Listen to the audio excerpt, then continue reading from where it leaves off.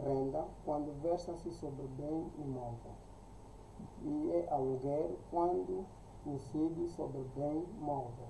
Ou seja, quando o contrato uh, refere-se a um bem que pode ser movimentado, nesse caso estamos a nos referir do aluguer. Quando é referente a um bem que não pode ser movimentado, estamos a nos referir da renda. E, portanto, dizer que cotidianamente tem-se confundido muito esses dois termos. Uhum. Então, são contratos de natureza diferente, ou seja, mas estão todos alocados dentro do contrato de alocação.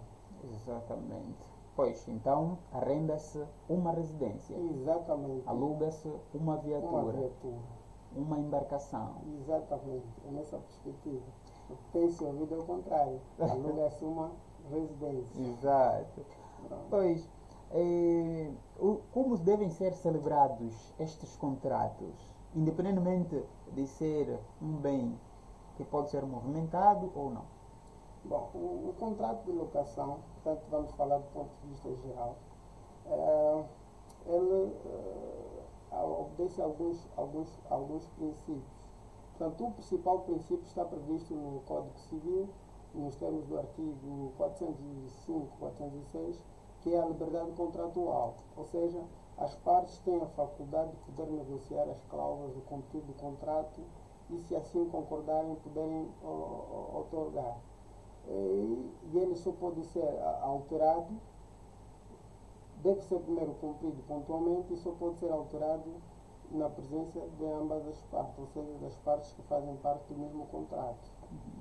Pois, e no caso existem alguns riscos caso não se observar eh, estes procedimentos? Bom, uh, para essas duas matérias temos mais a dizer sobre o contrato de arrendamento, porque o arrendamento é mais complexo. Okay. E ele é, é regulado pela Lei 26-15 de 23 de outubro, que é a Lei do Arrendamento Urbano. Portanto, essa lei traz consigo alguns princípios que norteiam um determinado contrato de arrendamento urbano. Portanto, primeiro, ela traz aquilo que é o objeto do âmbito. Estamos a falar concretamente o que pode ser arrendado ou que pode ser objeto de arrendamento urbano. E depois traz aquilo que são os aspectos essenciais que devem constar de um contrato de arrendamento. Portanto, é, um dos princípios que deve ser observado é a redução do contrato de arrendamento por escrito, ou seja, os contratos de arrendamento devem ser sempre escritos devem ser sempre escritos. E socorrendo-se naquilo que é o princípio latino escrito mant verba volat, ou seja, as palavras voam, as escritas mantêm-se. Portanto, é sempre bom que eles devem ser reduzidos a escrito e a lei faz referência a esse pormenor. Uhum. Pois, e, e, podemos avançar aqui alguns uh, riscos se não se, uh, se ter em conta esta celebração de contrato, eh, portanto, se, se, não se pautar exatamente por contrato escrito, pois há, muitas situações que ocorrem na nossa sociedade e que eh, as pessoas vão parar as instâncias, estamos a falar da justiça, exatamente, mas quando vai se dar o balanço não há nada escrito. Pronto, uh, vamos aqui começar a tocar nas questões que provavelmente têm acontecido cotidianamente. Uhum. Primeiro, os contratos devem ser reduzidos por escrito e, e, o conteúdo deve ser negociado pelas partes. Uhum. As partes só aderem ao contrato se concordarem com, com aquilo que, está, que é a sua manifestação de vontade. Portanto, um de, uma das questões que, pode, que não pode faltar no contrato é a localização do imóvel, é, o prazo, para arrendamento, o, o valor fixado à quantia. Portanto, eh, a questão da, da, da, das, das alterações é muito importante sobre isso, as alterações, porque existem, eh, do ponto de vista legal, existem aquilo que são alterações ou obras ordinárias e extraordinárias. As ordinárias são aquelas que é para manter o, imóvel uh, no estado normal e para o fim do objeto do contrato, ou seja, para que tenha utilidade naquilo que foi a função ou o fim do contrato. E essas, essas obras, normalmente, por via de regra, elas são, são responsabilidade do locador. Locador é o indivíduo, é o senhorinho, não é o termo mais, Uhum. mais comum. Portanto, ah, existem as extraordinárias. As extraordinárias, nós temos, te- temos conhecimento de forma assim muito comum, que são as voluntárias, temos a- a- aquelas que, que dão um certo, digamos assim, elas não são úteis, não são úteis, não são necessárias, aliás, mas são úteis, aumentam a qualidade do bem, aumentam o conforto. Portanto, essas obras a ser realizadas no, no imóvel arrendado devem estar sempre com o consentimento do locador, que é o senhorio, exceto se já estiver estipulado numa das cláusulas do contrato. Portanto, é bom que esse todos os pormenores fiquem já estipulados no contrato. Se não for assim, a lei traz os seus, seus princípios. A primeira, que é ordinária, se for por obrigação da administração, por exemplo, porque independentemente do fim do contrato, existe aquele estabelecimento que é para o determinado ato comercial ou prática de determinada atividade comercial, que exige determinados requisitos. E se, na, na eventualidade da expensão de determinado órgão ministerial passar por lá e achar que falta algum, alguma reparação, alguma correção em relação ao fim daquela atividade, portanto, aí é responsabilidade do, do senhorinho. Agora, essa responsabilidade também pode passar para, para- pode passar para o inquilino se isso estiver estipulado já no contrato, nessa, nessa vertente. Mas, a princípio, é responsabilidade do senhorinho. E o senhorinho, por sua vez, tem prazos para poder cumprir com essas execuções de obra. Se não fizê-lo, o inquilino pode fazê-lo nos termos da lei, eh, fazer um orçamento, reduzir isso por escrito, endereçar ao, ao, ao, ao senhorinho. O senhorinho em tempo útil não fazê-lo, o inquilino faz as obras, realiza as obras, depois reduz isso no valor da renda, nesses moldes. Agora, uma outra questão são aquelas que praticamente elas não são necessárias, mas são aquelas que dão mais um conforto no bem, eh, por exemplo, uma casa não mosaicada, eu como inquilino decido. E mosaicar, uma casa não rebocada, ou preferimos, porque todas essas obras devem ser, eh, devem ser antes de ser realizadas, devem ser primeiro comunicadas ao, ao, ao senhorinho. Sou Ok. pena, pena de depois, depois eh, como são questões não, não necessárias mesmo, portanto, sou pena depois do inquilino ter um prejuízo. Pois. E, se não comunicar, o que é que a lei prevê? O, no caso. Bom, eh, o, o contrato de arrendamento ele, eh, é, é amparado pelo princípio da liberdade contratual. Exato. Portanto, é um contrato em que há possibilidade ou faculdade das partes negociarem as cláusulas. Todos esses elementos que eu acabei de elencar aqui é liberdade dos, contra, dos, dos contraentes estipularem dentro do, do, do conteúdo do contrato. Se não fizerem assim, procede-se conforme a lei, or- conforme a lei, a lei prevê. Portanto, é, é, é nessa perspectiva. Só se aplica é, é, é, é, essas regras em caso de os as partes não, não estipularem. Agora, outra questão é a questão da durabilidade, ou seja, da, a questão do- dos prazos do, do próprio contrato de arrendamento. Ah, a lei diz que os contratos devem ser celebrados no máximo para arrendamento urbano de 30 anos. Ou seja, se eles forem celebrados mais de 30 anos, então reduz para 30 anos. E naqueles casos em que celebra-se o contrato e não se prevê ah, o prazo, o, o prazo mínimo, portanto, presume-se que aí aplica-se aquilo que são prazos supletivos, que a lei prevê que são dois anos. Portanto, ela traz limites, o mínimo e o máximo, o resto é vontade das partes, mas só, as partes, só se as partes não se manifestarem dentro do contrato. Agora, em relação ao prazo máximo, os 30 anos, é que os contraentes ou as partes não podem ultrapassar esse, esse, tempo, esse tempo previsto na lei. Ok. Agora, há- uma situação que acontece muito, em que às vezes eh, o- os arrendatários, né, eh, ao, ao- depois de, de estarem já a residir eh, na, na residência, né, chega uma altura em que o, o locador precisa já de reaver a sua residência, não quer mais renovar o contrato. Eh, para esse caso, o que, é que a lei prevê? Existe algum horizonte temporal que deve ser comunicado eh, para que o inquilino eh, se prepare para a sua retirada ou basta cessar, não é?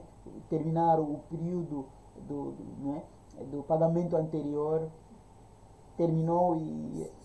São duas situações. Uhum. A primeira situação é que temos um contrato vigente. Exato. Portanto, e na vigência desse contrato, antes que ele culmine, o, o senhorinho pretende reaver a, o, seu, o seu imóvel. Exatamente. Portanto, nessa perspectiva, uh, é um pouco complicado porque estão diante de um contrato. Tem que, a princípio tem que, ser, tem que se cumprir o contrato. Uhum. Aí é a questão da rescisão do contrato. Então há sempre ah, depois a questão de poder indemnizar o, o inquilino pelo facto dele não ter ficado o tempo suficiente para poder cumprir.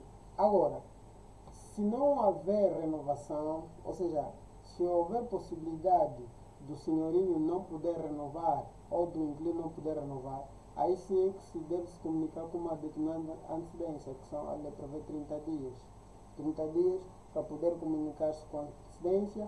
Também a possibilidade do senhorinho ter que atualizar a renda, porque as obras que o senhorinho irá realizar, por exemplo, na vigência do contrato, por obrigação da administração, ou então por uma questão de manter o bem, é, de manter o bem útil, realiza, realiza as obras. Então, pode haver necessidade de poder atualizar a renda. Também o senhorinho tem prazo há 30 dias antes que o contrato vigente termine, o senhorinho tem prazo de poder, tem essa possibilidade de poder comunicar ao, ao, ao inquilino que vai atualizar. O mesmo também tem prazo de poder comunicar com antecedência de que pronto, concorda ou não concorda. É, enquanto durar esse período, bom, aqui levanta-se uma outra questão. Uh, o contrato já celebrado uh, termina dentro de 30 dias, por exemplo, ou dentro de 60 dias. Essa comunicação começa a contar a partir da data em que termina, né, os 30 dias posteriores, a partir da data que termina a celebração ou o contrato vigente, ou a partir do momento em que o senhorio uh, faz, dá a conhecer ao inquilino. Então, eu não percebi a questão. Desculpe, só pode. Sim, a, a, a, questão está relacionada com esse, esse, essa, essa rescisão do contrato. Sim. Não é? Então, o, o, locador pretende rescindir o contrato, que assim que terminar este prazo, eu quero reaver já o meu imóvel. Sim, então, é. a nossa questão é, essa contagem de 30 dias, que é o prazo mínimo que deve dar, começa a contar a partir da, da data em que termina o, o prazo. Vamos, vamos aqui dar um exemplo hipotético. Exato. Um arrendamento, de, por exemplo, um contrato de arrendamento de seis anos, por exemplo. E o contrato tem vigência, passou-se cinco anos. Cinco anos e, e, e onze meses. Portanto, antes que o, o último mês termine, portanto, um senhorio deve manifestar a sua vontade de não poder renovar o contrato, uhum. Para que dê a possibilidade ao inquilino de poder encontrar um outro imóvel nas mesmas condições, nas condições que lhe aproveitam para poder arrendar. Okay. É nessa perspectiva. Uhum. Agora, uma outra questão. Os contratos devem ser reduzidos a escrito, mas não necessariamente registrados Agora, aqueles contratos em que o, o prazo ou a duração seja acima de seis anos, esses necessariamente devem ser registrados. Então, esse é um pormenor muito importante, porque a maior parte dos contratos verifica-se é simplesmente elaborado na cônica, falha com, falta alguns requisitos imperativos legais e não se vai a um, a um cartório para poder registrar o ato. Portanto, é preciso tomar atenção a essa questão, todos os contratos porque há a possibilidade de, pessoas depois, infelizmente, partirem desta para melhor e haver aquela questão de sucessão, transmissão em termos de arrendamento. Portanto, nós sabemos que há essa possibilidade do ponto de vista legal, o cônjuge sobrevive, estejam casados, ou o companheiro não é de facto reconhecido, portanto pode suceder na questão do arrendamento. Uhum. Pois, agora uma outra questão uh, está relacionada com uh, algumas proibições. Uh, vamos aqui trazer um exemplo prático de alguns locadores que não permitem que determinadas cerimônias sejam realizadas dentro do seu imóvel. Um, falamos concretamente de uma infelicidade, por exemplo. O locador diz que não, você não vai realizar aqui, o, o velório tem que ser feito num outro, outro lugar. lugar Essas são convicções uhum. em função da nossa, da nossa tradição e tudo mais. Uhum. Mas a lei faz referência à questão, a lei faz referência ao fim, ao, ao, ao fim do contrato, ou seja, o objeto para qual, qual é o objetivo para o qual o bem foi, foi, foi arrendado. Portanto, se isso não tiver estipulado no contrato, o, o inquilino somente utiliza aquele imóvel para, para, poder, para a residência, ou seja, para habitar. Eh, porque quando adere-se um contrato de arrendamento, deve-se determinar um fim se é para a prática da atividade comercial, industrial, habitação, deve terminar fim. Agora, se for para habitação, é óbvio que essa questão pode acontecer, a não ser que nas cláusulas contratuais esteja incluída pronto, em circunstância de, de haver um infortúnio do gênero, não se poderá realizar esse evento no local. Tem que estar um claro, porque ele é, é um dos contratos livres é um contrato em que as partes manifestam as suas vontades e ele só é alterado na presença de ambos. Portanto, normalmente, se houver esse cuidado de poder manifestar todas as vontades já reduzido no contrato, haverá pouca possibilidade de haver essa, essa, essa digamos assim, esse, essa, esse mal entendido.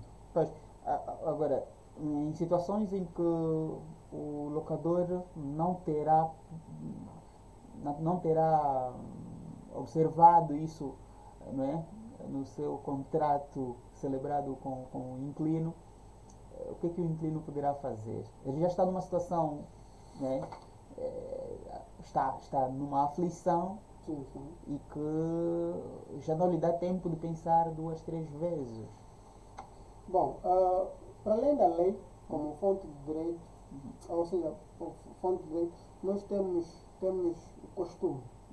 Portanto, nesse, nesse, nesse quesito, eh, não foi estipulado no contrato, a, a residência ou, ou, ou, o prédio é para poder a, habitar. Portanto, recorre-se ao costume. Então, é costume nós realizarmos essa atividade nas nossas residências onde habitamos. Então, nesses moldes, proceder-se dessa forma. Aliás, a lei faz referência a isso. Faz referência que socorre-se socorre sempre aos usos e costumes em caso de aquela coisa não for, não for, não for incluída no contrato. Okay. Então, é de entendimento comum que em África, particularmente em Angola, quando há infortúnio de gênero, essa atividade é realizada na residência o qual o infeliz residia, vivia nesse caso. Uhum. Pois. Muito bem, eu tenho a certeza que este tema não se esgota por aqui, mas há algumas disposições legais que queira acrescentar à volta deste tema? De Bom, esse é um tema bastante complexo. Na verdade, falar isso em 20, 30 minutos, uma hora, às vezes não é suficiente. Uhum. E é daqueles temas que é abordado em função da preocupação de, de, de, cada cidadão, ou seja, em função da inquietação, porque ele é bastante complexo, tem várias nuances, por, por, por já dar a liberdade das partes terem que negociar as suas vontades. Portanto, não é daqueles contratos em que, pronto, tem que ser assim, somente assim, não. É aqueles contratos que, se não for assim, pronto, vamos observar a lei. Por isso é que existe uma lei de arrendamento urbano. Exato. Mas a princípio ele rege sobre a liberdade contratual, ou seja, as partes são livres de poder estipular as cláusulas. Uhum. Se eu disser que esse imóvel só é arrendado para a prática do comércio, é somente para a prática do comércio. Se é para a atividade industrial, é somente para a atividade industrial. Se é para habitar, é somente para habitar. Ma- Mas agora existem imóveis que eh, são Imóveis, eh, sim, imóveis, imóveis. imóveis que são, eh, são arrendados para atividades religiosas. Aí estamos diante de uma situação que obrigatoriamente tem de constar tem que, tem que constar no, no- No contrato. contrato. E existem também aquele tipo de contrato que eh, tipicamente podemos falar misto, porque ele é arrendamento ao mesmo tempo é aluguel, para aquelas residências que são arrendadas já com alguns imóveis. Ok, ok. né? E se for estipulado um único, perdão, um único valor para o contrato completo, então considera-se aquele valor da renda, aquele valor como valor da renda. A lei faz referência a isso. Agora é, é comum encontrarmos residências já equipadas com, com móveis a serem arrendados. Portanto, nessa altura estás a arrendar o, o imóvel e estás a alugar os móveis. Exato. Mas como o valor é global, então considera-se o valor do arrendamento, ou seja, é o arrendamento. Exatamente. Este é o nosso convidado de hoje, o jurista David Cambuta. Vou agradecer então pela presença. Nós eh, queremos contar consigo em próximas ocasiões. Obrigado, portanto, estou sempre disponível, disponho sempre que for possível e agradeço mais uma vez pela oportunidade. Estou a gostar de estar aqui, minha primeira vez, é praticamente já está a ser uma rotina e está a ser agradabilíssimo bastante. Ok. Foi assim então.